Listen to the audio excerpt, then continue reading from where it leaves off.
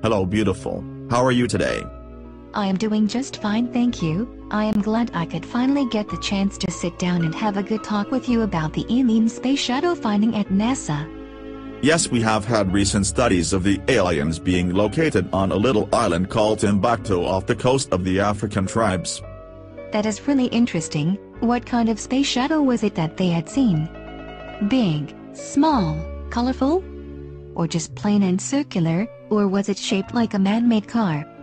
I took a trip over there to find that it is just as the scientists always predicted it is as the shape of a saucer. It had many different shades of red purple green and blue.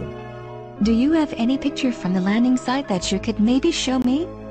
That would be great so I could put it in my editorial newspaper that I am working with. Unfortunately I do not have any pictures right this minute they are still at the pharmacy being developed, because I had to use an industrial camera because the sight was too strong.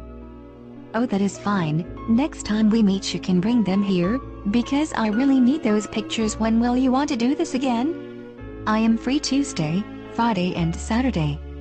Those are some weird work days, but who am I to judge I did not even see the spaceship shuttle. What they had said had never happened and I lied about the whole thing, good day. What? This was a complete waste of my time to sit down and talk to you about something that was lied about. I'm going to go home and cry now because I hate you, not good day to you.